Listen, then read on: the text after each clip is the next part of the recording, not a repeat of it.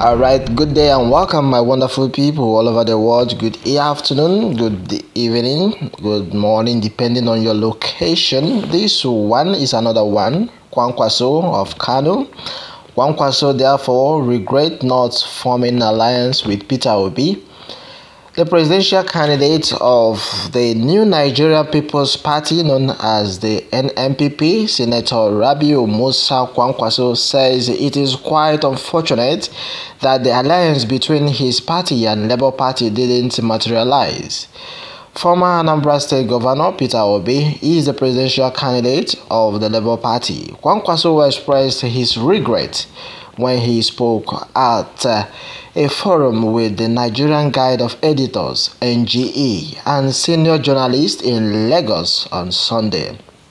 On this note, Kwankwaso said if the alliance had worked, there would not have been current uh, contemplation that there might be a rerun of uh, presidential poll in 2023 because he and Peter Obi would have won by a landslide.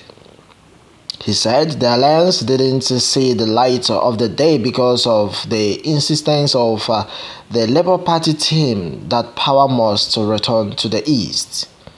This was reading this as I thought the alliance would be good.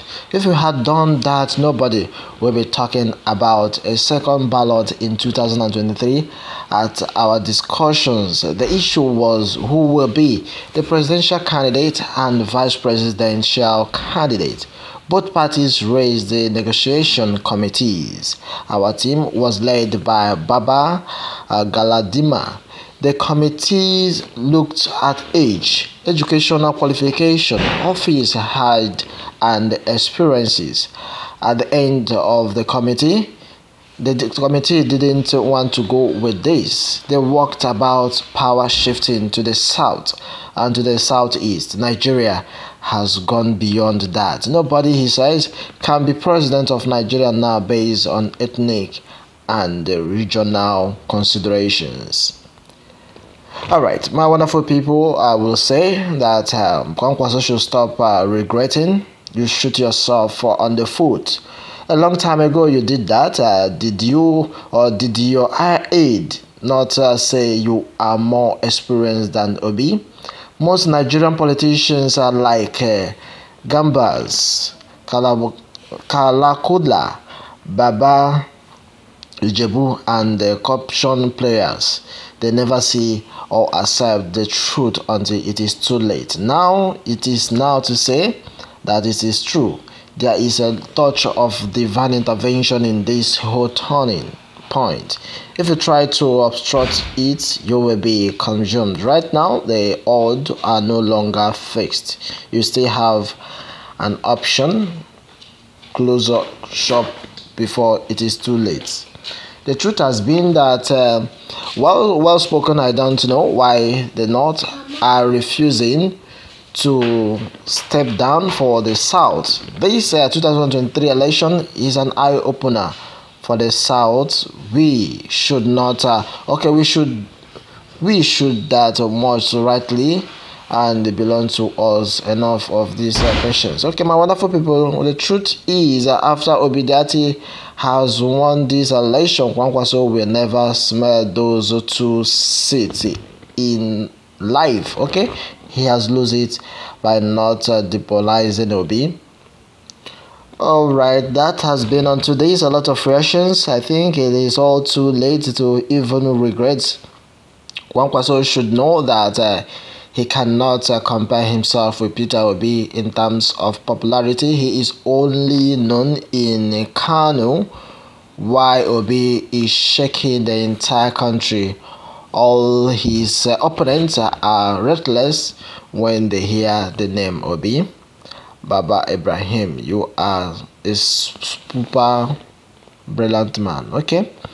My wonderful people, without wasting much of your time, I would like to have your take right at the comment section. As it stands, uh, Kwankwaso therefore regretted of not uh, forming alliance. Is it too late now? Well, it is. Obi will win without you, and it is better that uh, the alliance failed because you were always uh, pose yourself to be the reason for the victory. So do your best for yourself and see the level of your strength and popularity. Okay, thank you very much, my wonderful people.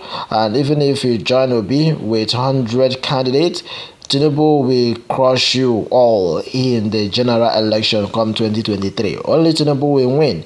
He is the best of all candidates for the election. He is good for the job. Okay, coming shortly from Prof. Uh, 9930. Thank you very much, Prof. 9930.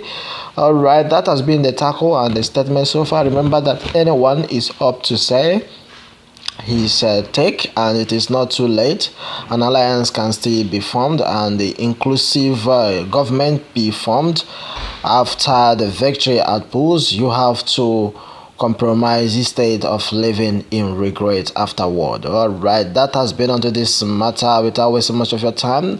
Uh, okay the rational presidency is good for peace. Justice and equity age has nothing to do with leadership. Obama was uh, 47 when he became president and joe biden was his vice president at uh, 66 okay that is selfless. Um, selfishness did not uh, allow you to reason very well. You can still emerge your party with labor party and take up a different role from vice president. Okay? My wonderful people let me have your take on this matter. He is saying nothing different. Go back and read again that he said ob's team said the power should be shifted to the south which means uh, which means that uh, on the other side, Kwankwaso's team said the current Nigerian politics is far ahead of that. It is no longer on the basis of tribe or religion. If you get time, if you get him right, he is still or against shifting power to the south. So let everyone continue from where the decision ended. Let everyone of them try his look and see how popular he is, but not on social media scorecard. All right, thank you very much. Well, let me have a take and remember to subscribe at this very point in time. As we call it a day, meanwhile, let nobody deceive you. Uh, election is still based on religion or tribe. Luke Peter Obi will become the next president of Nigeria. Tinubu and Atiku will share the Muslim vote of uh, the north. All Christians in the north and 55% of uh, of uh, of west is for Peter Obi, southeast and the southeast, south south is Obi.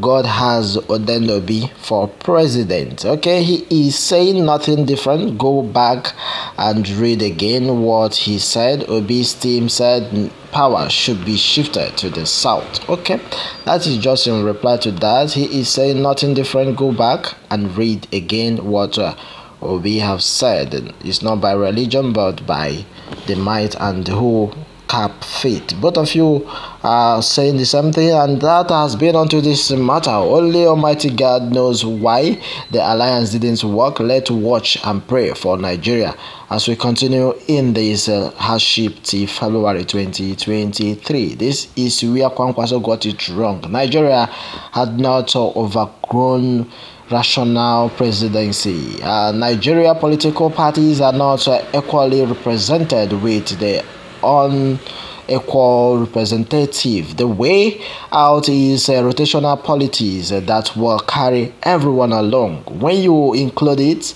the North will definitely always be in the presidency, and others won't like it because it doesn't have equal representation of Nigeria. This uh, equality happened because the North had been in power for long, using military government to make political policies in favor of the North. The only way out for unity and fairness and being in unity is being rational. Rational office holding for all segments. Northern politicians knows it favors will always say no rational office be holding including presidency. That is very trouble and that has been the talk of the day. How can be how can he be expecting the North to retain power again with the current uh, Buhari state of Nigeria.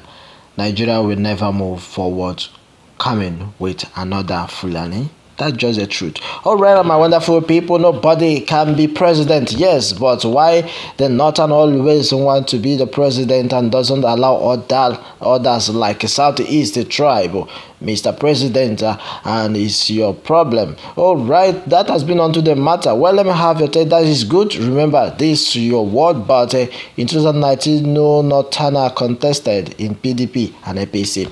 All right, my wonderful people. Let me have your take. Remember to be with us at the next one. Thank you and God bless you.